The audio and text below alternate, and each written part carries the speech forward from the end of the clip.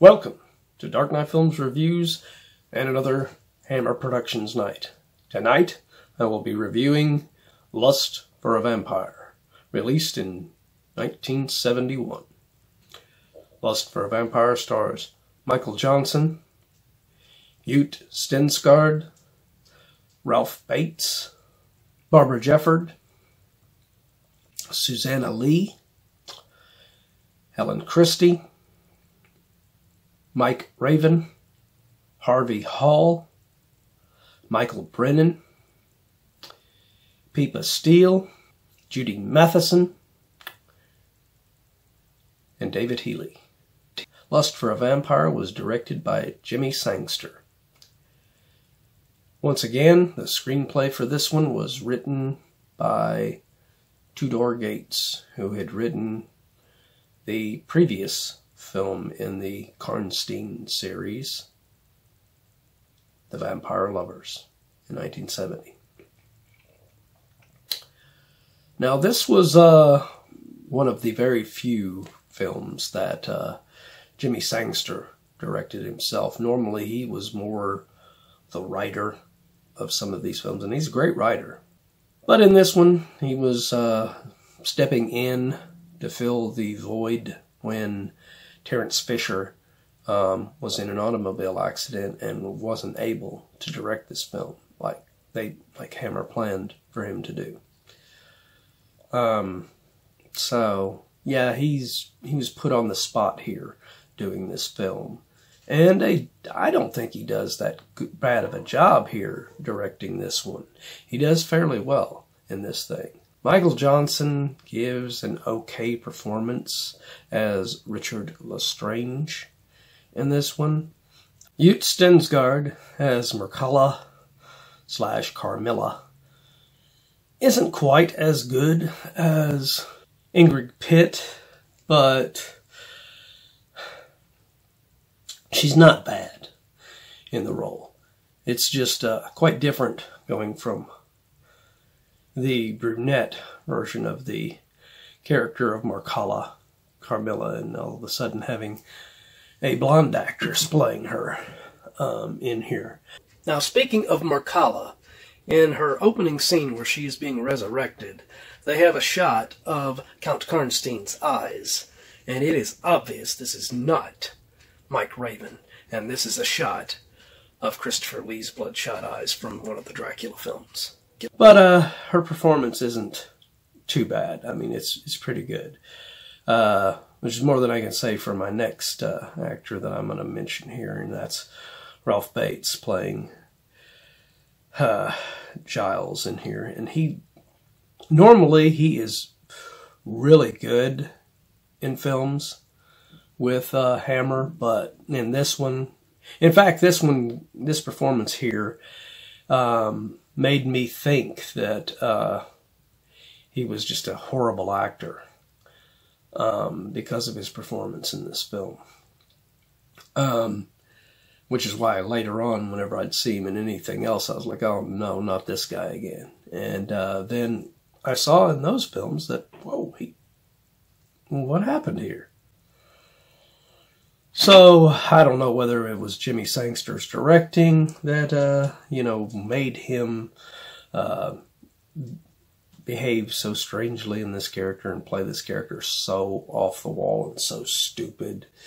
Um, but yeah, it's not the best performance of uh, Ralph Bates. And later on, after this film was made, he ended up making comments that um, this was the worst film of all time. Um, I don't agree with that. But you're entitled to your opinion, Ralph. Um, Barbara Jefford as uh, the Countess is uh, she's all right too. Um, the actress in this that really stands out is Suzanna Leigh playing Janet, and uh, unlike um, the vampire lovers were that weird way that um, Mircalla slash Carmilla would um, get control of the people that she wanted to influence to get what she wanted. such as you know the the brooch thing um, in there, and then and then seducing um, the butler character in there. It, this one doesn't have that, thankfully. Um, most of her scenes where she's manipulating characters, she's doing it with you know the eye hypnosis kind of stuff, um, and uh, that that works a lot better. Um, in fact, the best scene in this with um, Yutte Stensgaard is where she attempts to hypnotize and turn Janet to her side.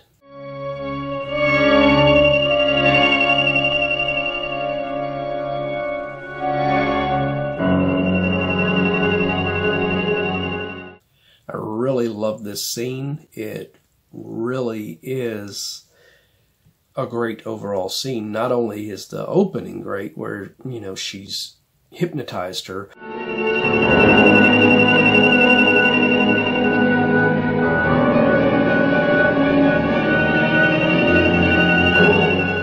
But when she leads her into the room, it has that twist where she doesn't get her.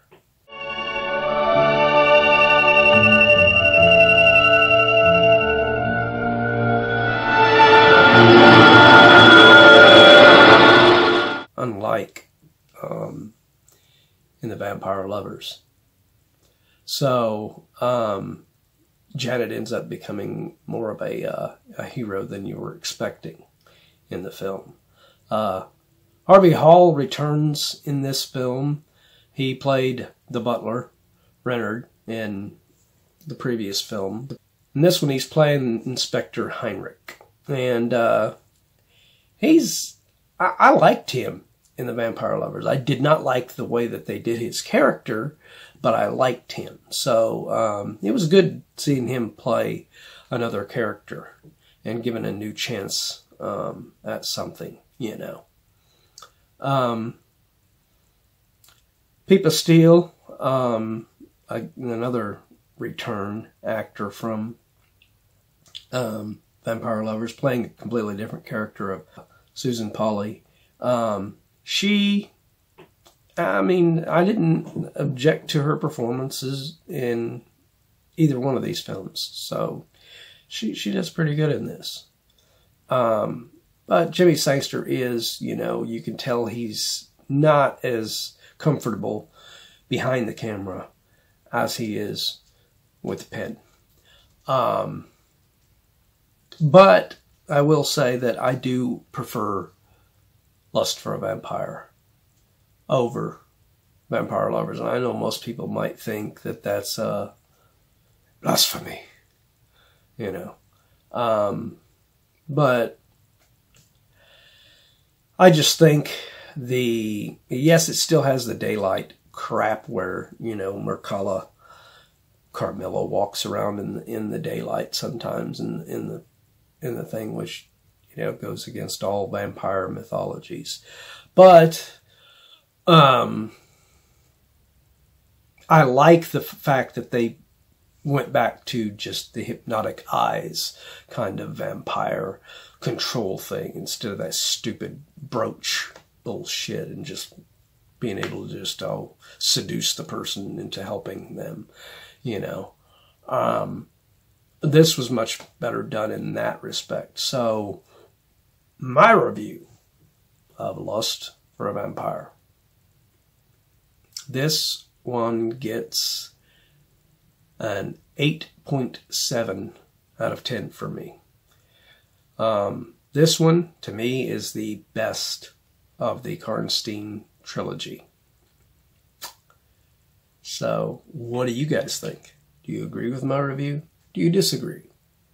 Let me know in the comments down below which film in the Karnstein trilogy is your favorite.